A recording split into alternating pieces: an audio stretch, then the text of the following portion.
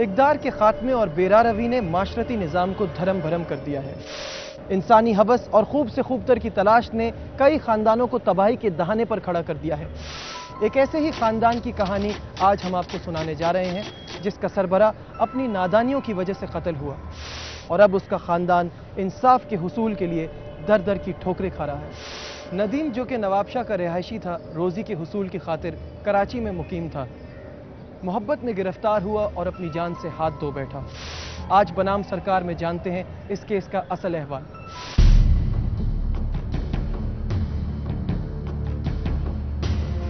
इंसान अपनी तमाम सलाहियतें, अपनी घरेलू ज़िंदगी को पुरसकून बनाने में सर्व करता है। वो दिन का बेशतर हिस्सा शदीद मेहनत और मुशक्कत करने के लिए सिर्फ़ इसलिए तैयार रहता है कि उसका घर आसूदा हाल हो जाए। और बाद औकात अपने अजीजों से दूर परदेश भी चला जाता है। लेकिन ऐसा भी होता है कि जिन लोगों को वो जान से बढ़कर चाहता है, वही उसकी जान के दुश्मन हो जाते हैं। ऐसा ही कुछ हुआ नदीम के साथ, जो नवाबशाह से कराची रोजी के हुसूल के लिए आया। 2007 के रमज़ान मुबारक के महीने में जब उसने अपनी बीवी और बच्चों को नवाब शाह ये कहकर भेज दिया कि वो ईद मनाने उनके पास आ जाएगा। लेकिन हुआ इसके बरक। ईद पर वो तो नहीं आया, उसकी मौत की खबर आ गई। पुलिस की तफ्तीश के मुताबिक नदीम कराची में रिहाइश के दौरान एक हसीन धोखे, यानी तानिया की मोहब्बत का शिकार हो गया और रकाबत की भेंट चढ़ गया।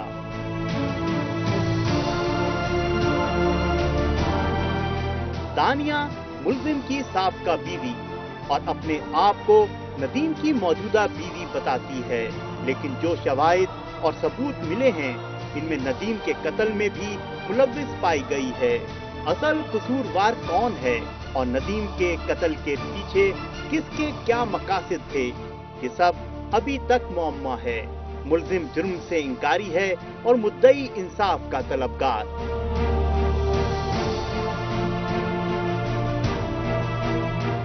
इस केस में चार मुलजिमान नामजद हैं, शहबाज, अयाज तानिया और शाहिद। अयाज और शाहिद मफरूर हैं, जबकि तानिया और शहबाज जमानत पर रहा है। जब बनाम सरकार की टीम इस केस की पेशी पर अदालत पहुँची तो नामजद मुलजिमान हमसे बात करने से इनकारी नज़र आए।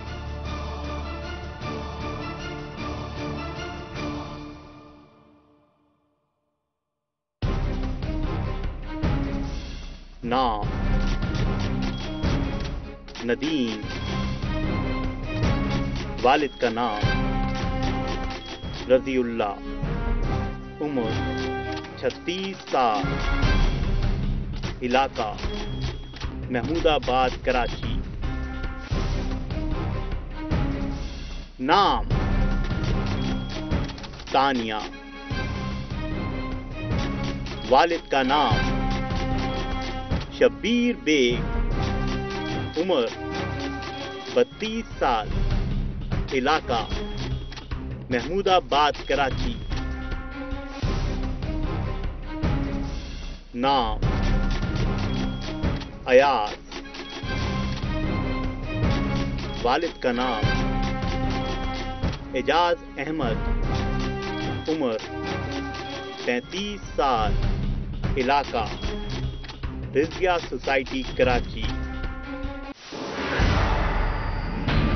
नदीम एक बहुत सीधा साधा और बहुत मोहब्बत करने वाला भाई था। तानिया नामी एक खातून थी कोई। उन्होंने उसको और इंतहाई बेदर्दी के साथ उसका कत्ल किया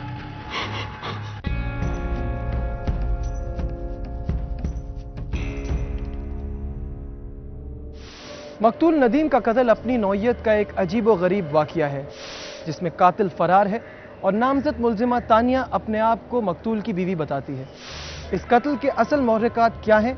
आइए जानते हैं मकतूल के भाई फ़हीम से।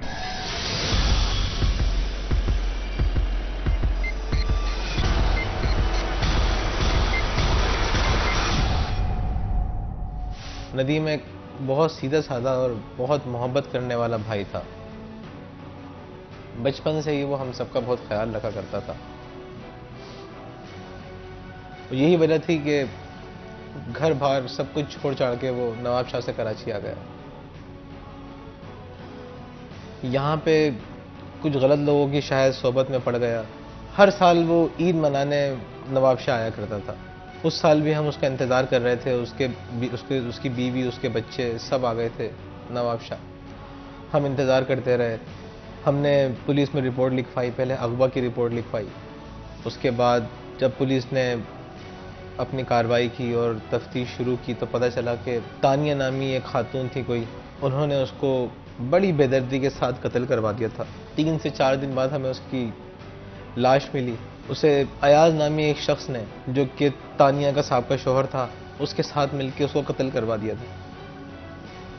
और इंतहाई बेदर्दी के साथ उसका कत्ल किया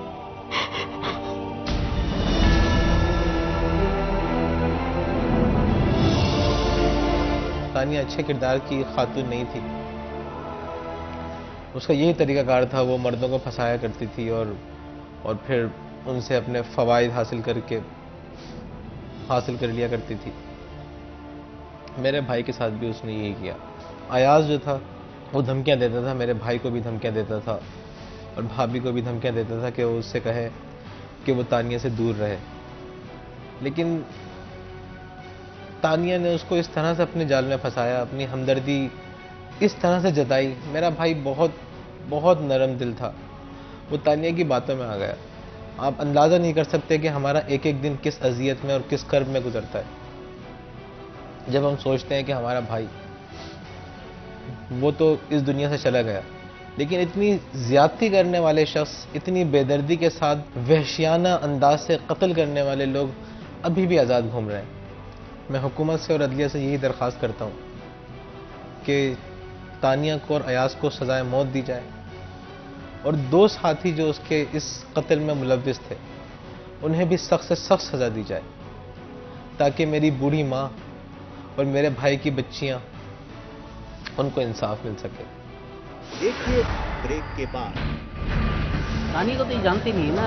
आगे तो मेरा कोई नहीं मुझे ये नहीं पता सर मुजरिम कौन है। अगर मुझे पता होता तो मैं अपनी जान नहीं छुड़ा लेता। आप जो कुछ मीठा चाह रहे हैं उससे होगा नहीं।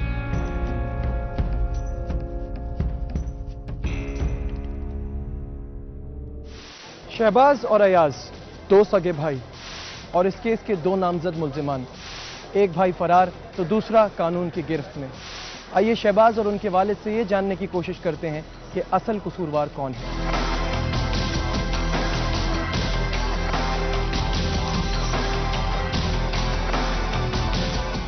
तानिया का अयाज का क्या वो तो ताल्लुक कोई? मसला नहीं हाँ।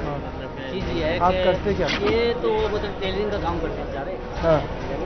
इनका तो कोई मसला ही नहीं है। तो आप इस केस में कैसे फिर वजह ये है कि अयाज जो है ना। मतलब इनका बड़ा भाई है हम्म, और वो तकरीबन ये जब केस हुआ है हम्म। उससे मेरे ख्याल से छः महीने या पाँच महीने पहले से जो है ना उसको मैंने घर से निकाल दिया था कि भाई आप घर में सही तो मतलब आपके जो भी पोजीशन है उसके हिसाब से बेहतर ये कि गुजारे का हमारा बच्चों का ख्याल है सब कुछ है। अब वो अपने उसके जहन की बात की। उसके बाद मेरे ख्याल चार पाँच महीने के बाद ये फिर ये कहानी हुई। हम्म, वो रहे कि इसको बच्चे को वो तो नहीं मिला उनको पुलिस को जैसे भी तो इसको बच्चे को रात को मतलब है कि घर से उठा के ले घर से उठा के ले हाँ गए? हाँ घर से उठा के ले गए। कौन कौन था? वो पुलिस वाले। अच्छा। हाँ तो पुलिस वाले उठा के ले गए। जैसे चलो जी वो तो नहीं मिला। है तो इसको ले जाओ। ये कि अब वो हमने अपनी पूरी कोशिश की मगर ये कि वो जैसा भी था वो पुलिस का तो आपको तो ये ये क्यों कह रहा है कि मुझे याद नहीं है? मैं बहुत उस वक्त मुझे जो हो गया वो हो गया। कोई तो बात होगी ना जो तुम्हें पता है जो तुम कह रहे हो तुम्हें याद नहीं। अयास को और उसको तानिया को जानते नहीं हो? नहीं तानिया को तो ये जानती नहीं है ना। तो ये तो पुलिस ने खुद जानबूझ के बताया काम काम एक केस बनाने के लिए। तो वो जो ये कहते हैं कि तुम भी साथ थे और वो नहीं जिस तरह से वो कहते हैं कि तुम साथ थे और तुमने जो लास्ट को डिस्पोज ऑफ़ किया उसमें भी तुम साथ थे। ये सब गलत है। मुझे सिर्फ़ थाने में थाने से डायरेक्ट जेल जेल से मुझे इतना पता यहाँ तक कि घर पे भी नहीं लेके तो ये चार साल से चल रहा है तुम कब से आ रहे हो? आ रहे हैं तो। अब तुम्हें क्या इसमें तुम्हें क्या उम्मीद है कि क्या होगा आगे? नहीं अब कब ये तो अल्लाह के ऊपर छोड़ा कि जब एक चीज़ की नहीं है कुछ पता ही नहीं है। हमने तो कुछ ज़ाहिर किया है ही तो नहीं, ऐसा मसला नहीं है हमें किस बात का कि क्या होगा क्या कि है अल्लाह ताला उसके लिए बेहतर ही करेगा अभी ये क्या कहते क्या है? कि तुम्हारे ऊपर क्या इल्ज़ाम क्या है इसमें? केस में कुछ भी नहीं है। है ना? केस से चल रहा है फिरास भी हो गया हर चीज़ हो गई। इसमें कोई चीज़ कोई सबूत नहीं दे सके। कोई है ना कोई चीज़ की होती तो सबूत मिलता ना ऐसा तो ये था। जब एक चीज़ की थी तो सबूत कहाँ से मिलेगा अब सिर्फ़ क्या कुछ नहीं है सिर्फ़ एक परेशानी। है जा रहा है कि मतलब है कि आना जाना जैसा भी है। हम्म। तो वो और कोई मसला नहीं इसी वजह से मैंने मैडम को एक चीज़ आप देखो ना एक हमारा बच्चियों का छाप तो ज़ाहिर खाने का मसला होता है कि करना है कि ना करना है। लेना देना नहीं है। ये कि एक वो परिणामी वाली बात है। बाकी इतना अपना ईमान है। बड़ी अल्लाह की मेहरबानी है। तो तुम्हें लगता है कि तुम्हें इंसाफ मिलेगा? हाँ इंशाल्लाह। अगर तुमने तुम तुम तो तुम तो बिल्कुल बता रहे हो कि तुम्हें कुछ भी नहीं पता।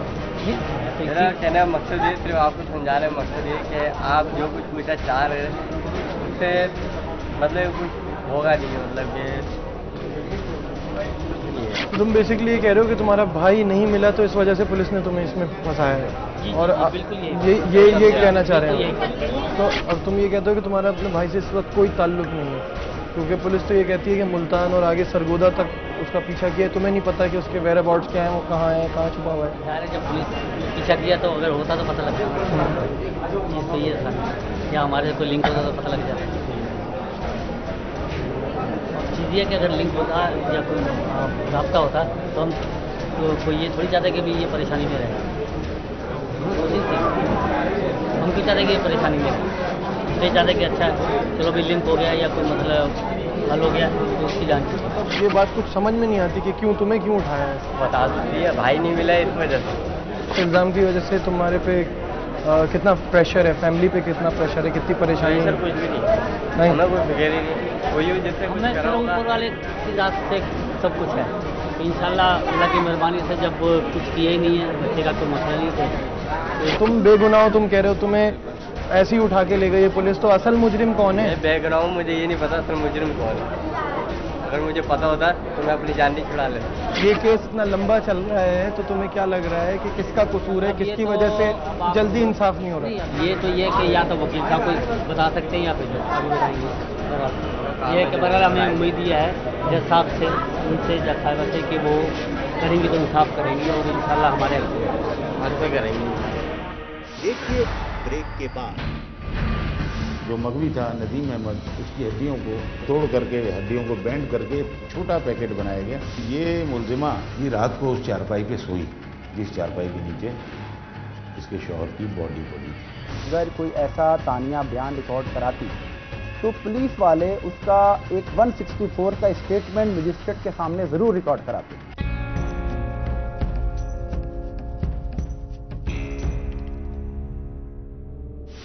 इकबाल हाशमी साहब, जो कि इस केस के इन्वेस्टिगेशन ऑफिसर हैं, उनसे एक मुलाकात करते हैं और उनसे ये मालूम करते हैं कि उनकी तफ्तीश के मुताबिक इस केस का असल कसूरवार कौन है।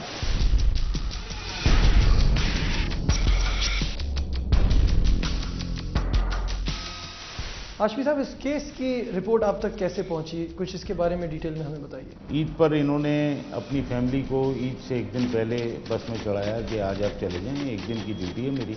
वो मैं करके चाँद रात को आपके पास नवाब शाह आ जाऊँगा। ये वहाँ नहीं पहुँचे।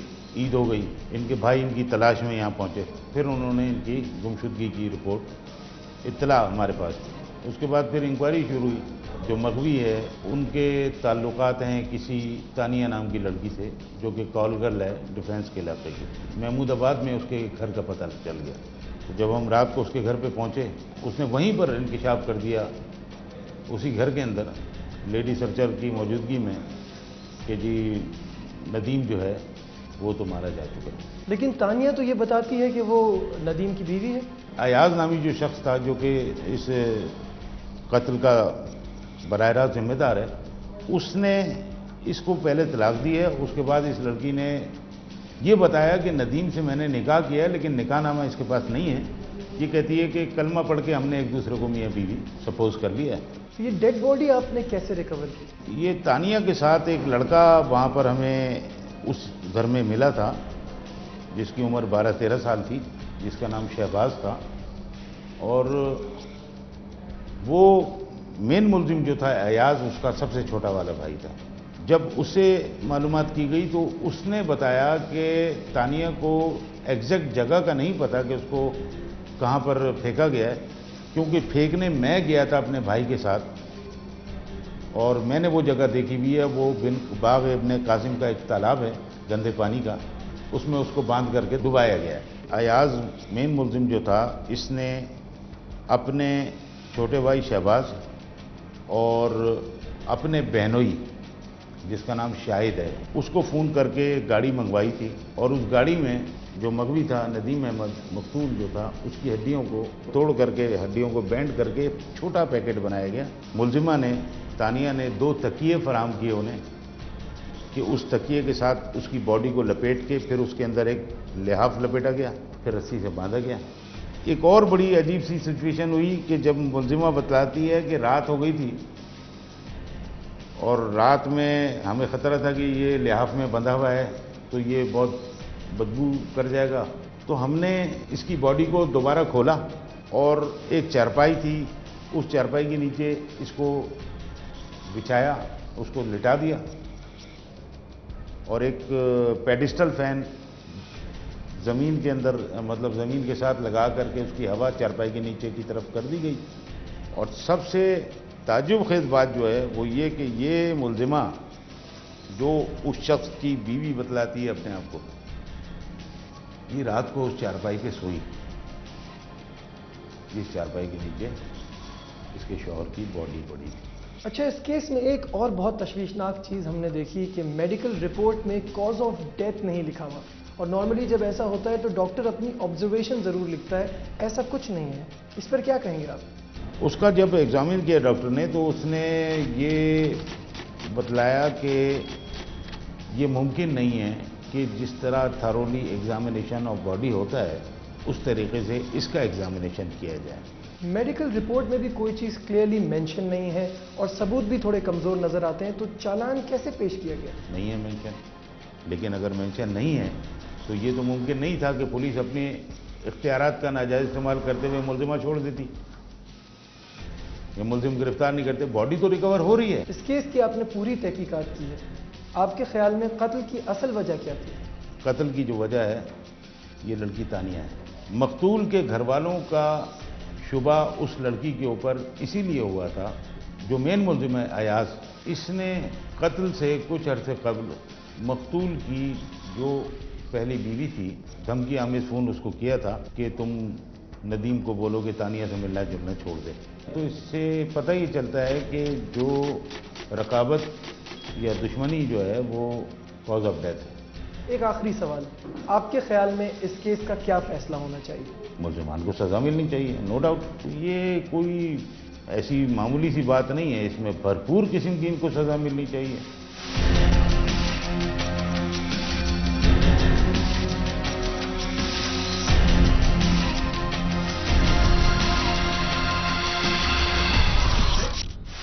ये केस बज़ाहिर तो एक आम सा कत्ल का केस नज़र आता है, लेकिन इसमें कई पेचीदगियाँ हैं। आइए इस केस की बारीकियों के बारे में जानते हैं, जनाब शाहिद शब्बीर साहब से, जो कि इस केस के वकील सफ़ाई हैं।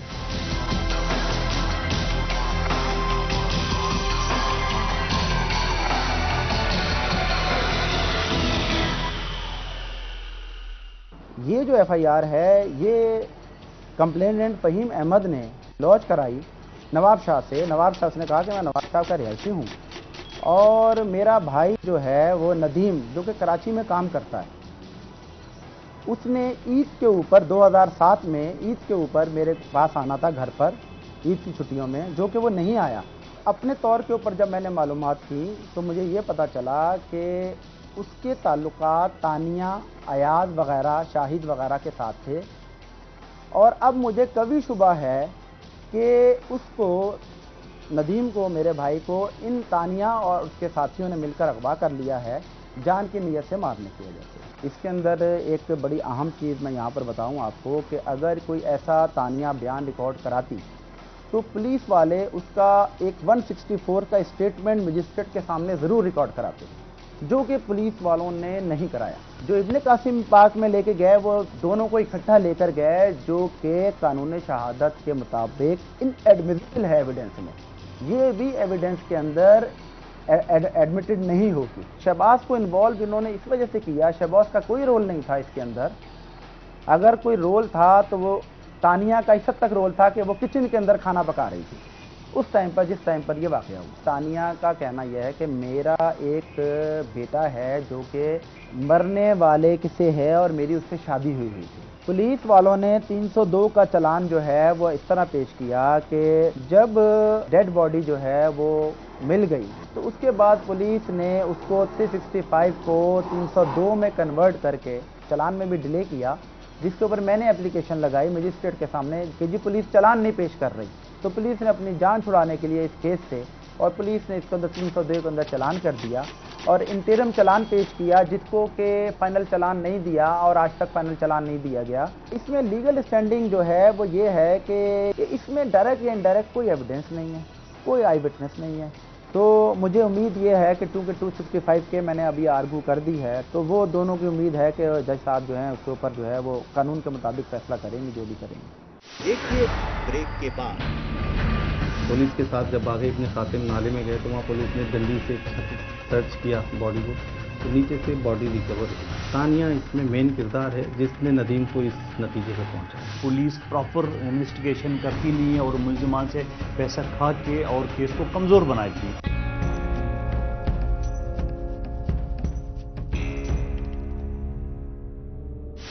इस केस की जिन पेचीदगियों की निशानदही वकील सफ़ाई ने की, उनके बारे में वकील इस्तकासा नकी साहब क्या कहते हैं, उनसे मुलाकात करके जानते हैं।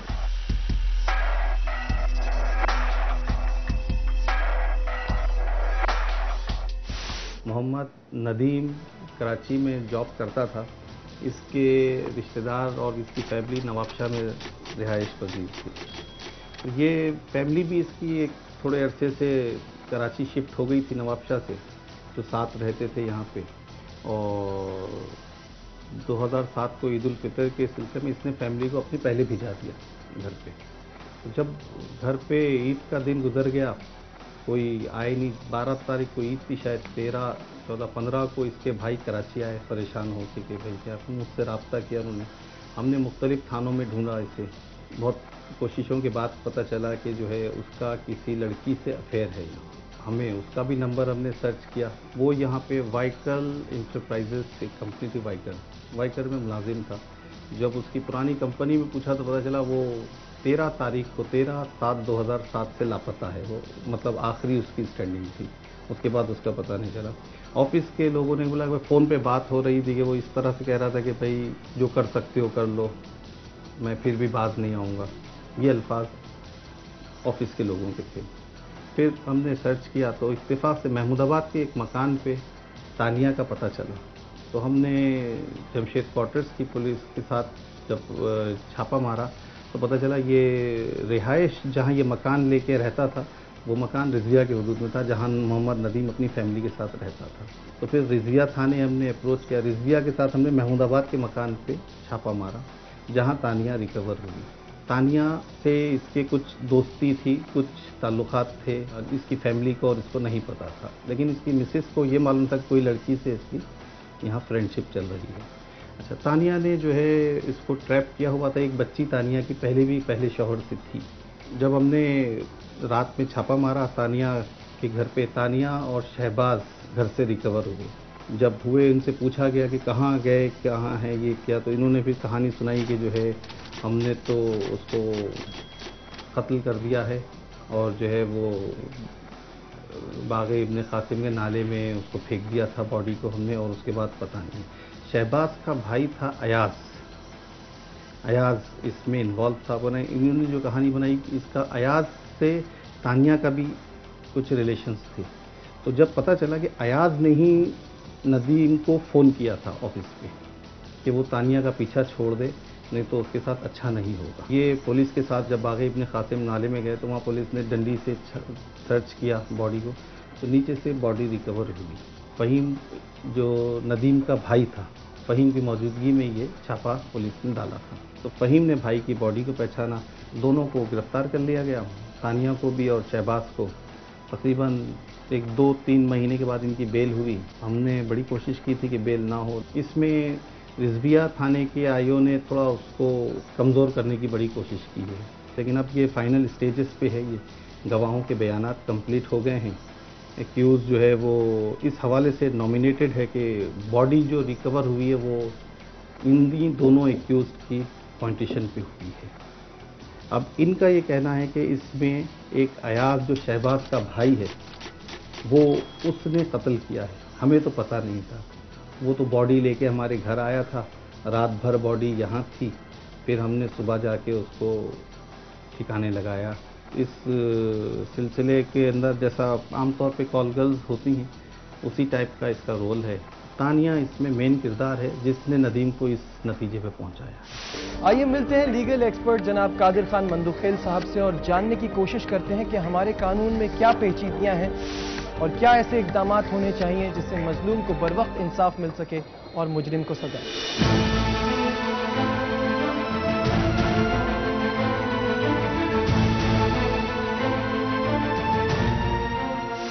कादिर साहब, हमारे अदालती निज़ाम में ऐसी क्या पेचीदगियाँ हैं जिसकी वजह से लोग अब अदालतों पर एतबार नहीं करते? सबसे ज़्यादा जो ना पेचीदगी ये है कि केस जो ना, वो डिले होते हैं, लेट होते हैं, फैसले देर से आते हैं।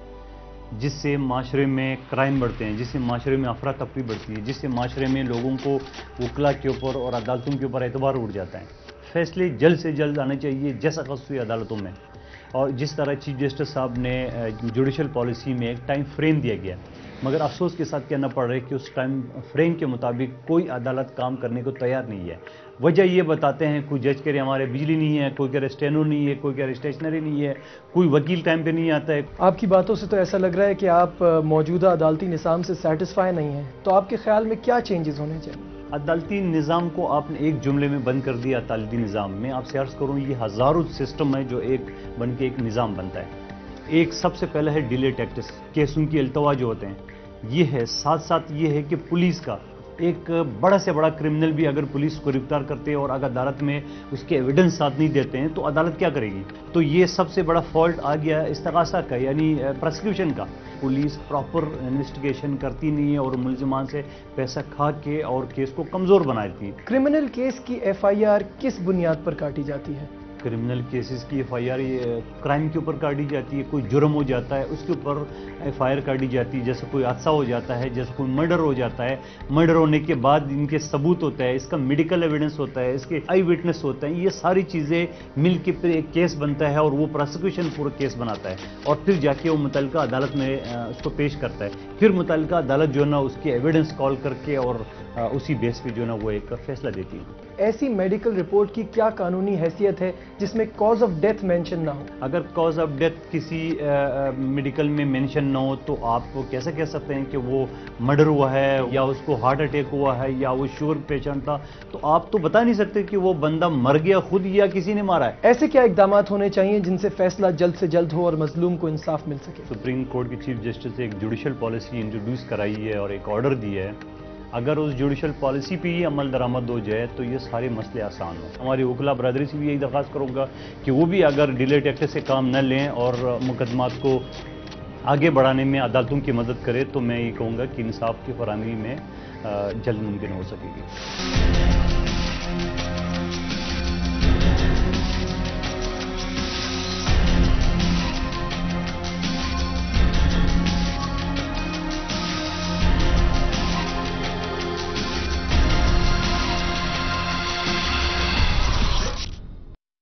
आज बनाम सरकार में जो केस हमने आपके सामने पेश किया, वो पहले अगवा और फिर कत्ल का केस बन गया। शक की बुनियाद पे कातिलों की तलाश शुरू की गई। और आखिर में जो अपने होने का दावा करते थे, यानी तानिया, जो कि खुद को नदीम की बीवी बताती थी, बेरहमाना कत्ल में मुलविस पाई गई। इस केस में नामजद कातिल अयाज गुजशत चार सालों से फरार है और उसका भाई शहबाज कानून की गिरफ्त में है। इस केस के असल हकायक जब बनाम सरकार की टीम ने जानने की कोशिश की तो कई पहलुओं पर से पर्दा हटा और कई कानूनी कमजोरियाँ सामने आई। इस केस के ज़रिए हमारी मोजिज अदलिया और हुक्काम बाला से गुजारिश है कि कानून की उन तमाम शिकों में तब्दीली लाई जाए, जो सबूतों को कमज़ोर करती हैं और मुलजिमों को राह फरार देती हैं। अपनी मोजिज आरा से हमें ज़रूर आगाह कीजिएगा। B S at Duniya T V dot T V अपना बहुत ख्याल रखिए। अल्लाह हाफिज़।